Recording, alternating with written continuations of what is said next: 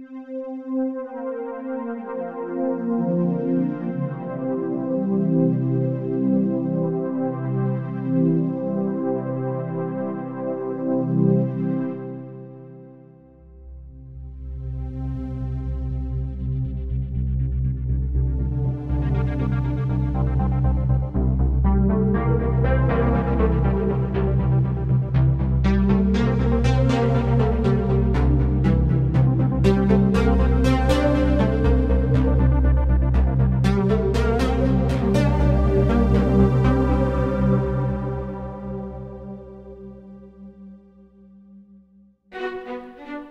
Arrivando a Graffignano non si può fare a meno di fermarsi e ammirare il poderoso castello Baglioni.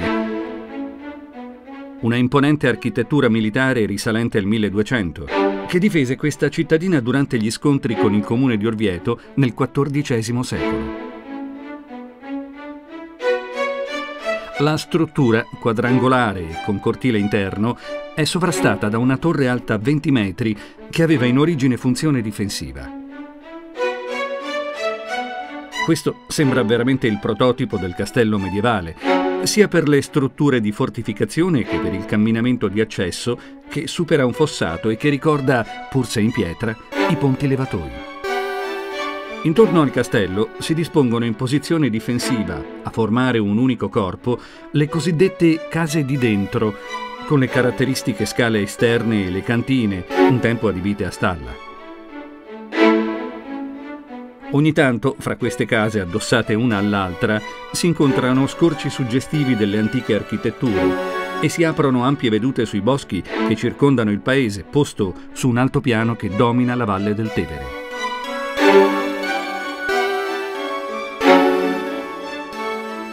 In una zona verde molto gradevole, a due chilometri dall'abitato, sorge il santuario della Madonna del Castellonchio, si hanno notizie di una chiesa in questo luogo già nel 1464, ma l'edificio che noi vediamo oggi fu costruito all'inizio del Novecento.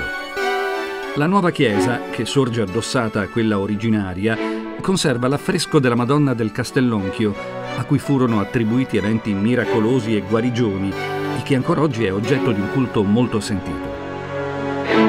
Miracolosa è anche l'acqua delle fontanelle, che si raggiungono dopo una ripida discesa nel bosco.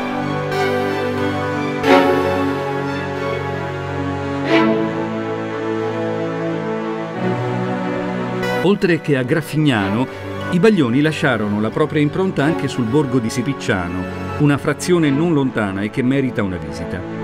Così come avviene per il castello a Graffignano, qui il palazzo baronale forma infatti un tutt'uno urbanistico con le abitazioni più antiche. Il palazzo e le sue torri ottagonali risalgono al 1500, come la cosiddetta Cappella Baglioni, che si trova all'interno dell'ex chiesa di Santa Maria Assunta in Cielo. La cappella è decorata con un ciclo di affreschi dedicati alla vita e ai miracoli di San Francesco. Fuori dal borgo medievale si trova la chiesa di San Bernardino che sulle pareti laterali ha belli affreschi quattrocenteschi che ritraggono sei figure di santi, tra cui San Francesco e San Bernardino, forse di Pier Matteo d'Amelio.